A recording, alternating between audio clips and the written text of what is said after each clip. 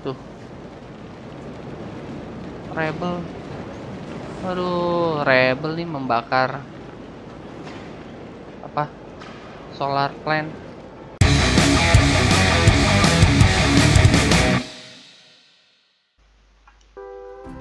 Halo teman-teman, welcome back to Lang Gaming teman-teman ya Atau El Presidente Gaming teman-teman. Jadi pada hari ini kita mau uh, new game di map yang baru teman-teman ya. Di map yang baru. Karena apa? Gua mendapatkan informasi kayak begini teman-teman. Nah bisa dilihat di layar ya.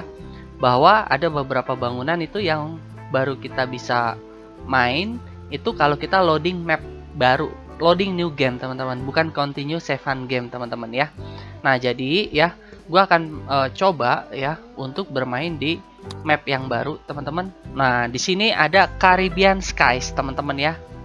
Ada misi entah misi entah apa tapi Caribbean Skies. Nah di sini ada misi teman-teman ya Caribbean Skies teman-teman. Oke teman-teman ya. Jadi bisa dibilang ini adalah salah satu yang uh, menarik dari update dari uh, Tropico 6 ini teman-teman ya. Nah, kita akan coba di sini uh, misinya ya. Kita akan lihat misinya itu seperti apa teman-teman. Oke, sebentar ya. Difficulty-nya normal aja. Nah, sekarang start mission teman-teman. Nah, uh, kemarin itu gue main di uh, apa namanya dilanjutin game ya teman-teman ya. Di video sebelumnya gue main lanjutin game tapi ternyata uh, memang sih ada yang baru. Kayak misalkan kayak ya uh, apa ya ya pokoknya gitulah teman-teman. Nih. tapi kalau yang di sini ini misi dari Caribbean Skies teman-teman ya. dan gua nggak tahu ya uh, apa namanya kira-kira akan kita akan dibawa ke mana nih dari misi ini teman-teman ya. So many possibilities so much money to make so many to exploit. Okay. Just thinking about it makes my mouth start to water.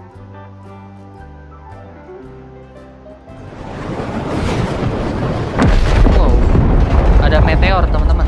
Wow, hampir aja tuh kena mobil-mobil itu teman-teman ya. Wow, banyak banget teman-teman. Wow.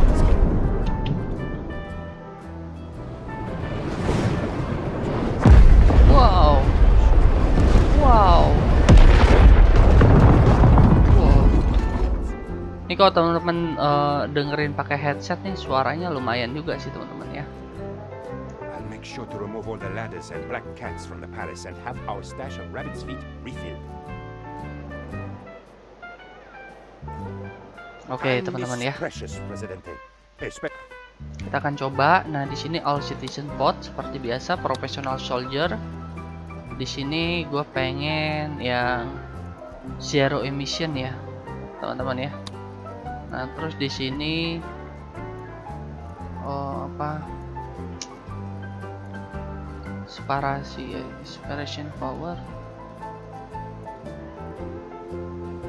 Oke gue pilih yang ini.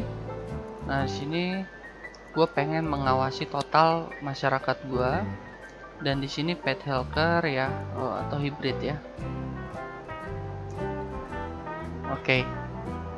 Gue pilih yang hybrid. Oke okay, sekarang kita uh, next kita lihat um, asuransi meteor.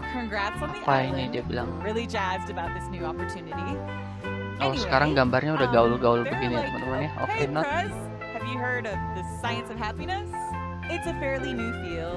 Oke, okay, teman-teman di sini Happy Teamster, Happy Tropico ya. Kita akan coba. Oke. Okay. Issue free housing, teman-teman. Oke, kita disuruh uh, apa namanya? Uh, mengeluarkan edik tentang uh, rumah gratis. Oke. Kita bikin issue free housing. free housing itu dia ada di sini dan ini belum research kita research kita akan research free housing teman-teman ya kita percepat di sini oke okay. sudah Presidente my friend surely you're not gonna buckle under the pressure those sekarang kita ada drone assemble oke okay. Di.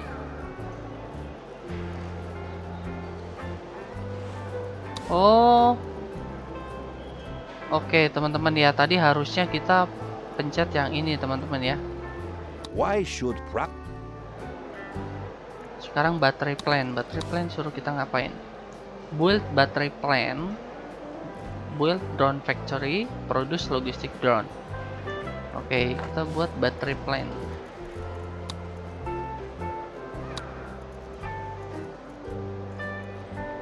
Oke, ini baterai plan kita buat di sini teman-teman ya. Oke, oke kita buat sekarang. An official statement from the palace declares cryptocurrency to be unpatriotic. If it doesn't have a picture of El Presidente on it, it's not currency. Drone factory, drone factory.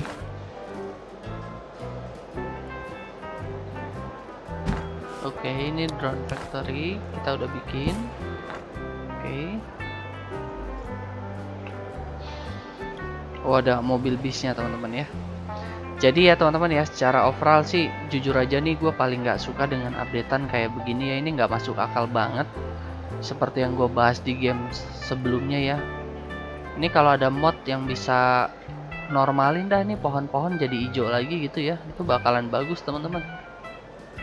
Jujur ini salah satu uh, hal yang nggak sangat nggak enak di negara Topris ada ada salju di pohon-pohon itu. Aduh, mungkin teman-teman juga jadi ini ya jadi mempertanyakan gitu ini update apa ini? Update nggak penting ini.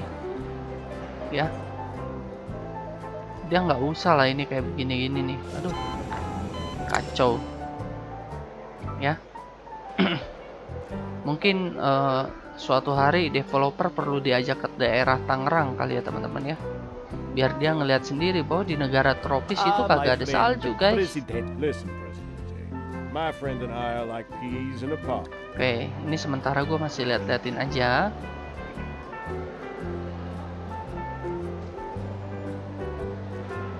Hmm. Ini kenapa gua nggak dibikin-bikin ya? Oke, kita akan coba lihat di mana sih bagian itunya. Not set, more hand, Sebenarnya kalau main game ini teman-teman ya kita langsung ke zaman modern tuh kurang kurang greget teman-teman ya. Gua nggak tahu kenapa. Tapi yang pasti sih memang lebih enak itu kita main game ini tuh dari zaman bener-bener dari zaman kolonial teman-teman ya, dari zaman penjajahan itu. Karena kenapa? Ini terlalu mewah gitu. Jadi kita nggak ngerti itu ya dari mana asal kemewahan ini.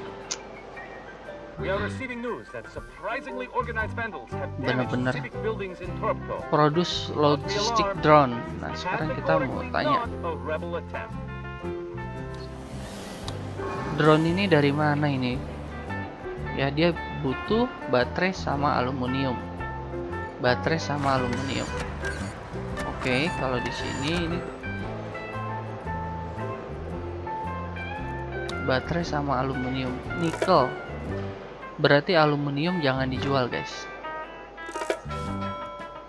Open trade screen. Aluminium itu jangan dijual. baterai jangan dijual kita lihat ya baterai jangan dijual teman-teman jadi baterai itu dipakai untuk drone teman-teman ya oke sekarang gua coba-coba nih ya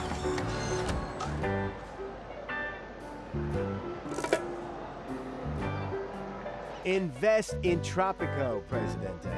That's the Don't be intimidated. oke ntar deh ntar kita akan eh, gua akan satu eh, rilis video yang yang kita tuh mulai dari awal misi teman-teman ya kalau udah misi model kayak begini nih jujur aja tuh. kurang begitu greget teman-teman duit terlalu banyak ya. terus juga ini kayak ya elah ini apa sih rebel-rebel gak jelas. Kita lihat bentuk rebelnya gimana. Ya bentuk rebelnya aja begini teman-teman ya. Di zaman modern ya.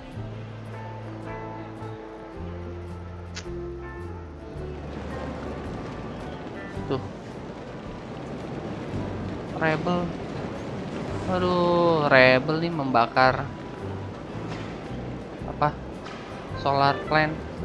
Ini mana pasukan pengaman ini? Nih loh teman-teman yang kayak begini gini yang kadang gua nggak suka kalau main langsung di zaman modern. Kita nggak tahu mana pasukan pengaman tentara ya. Di mana coba? Ah kacau kali lah ini.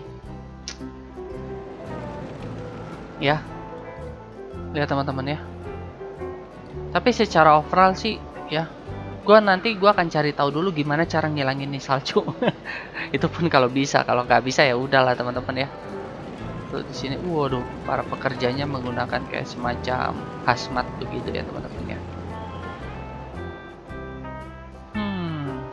Oke teman-teman nanti gua akan bikin satu video baru ya. Ini hanya gambaran sekilas tentang apa sih yang ada di misi eh, apa? Tuh pulau-pulau banyak begini pulau-pulau kagak guna ini teman-teman.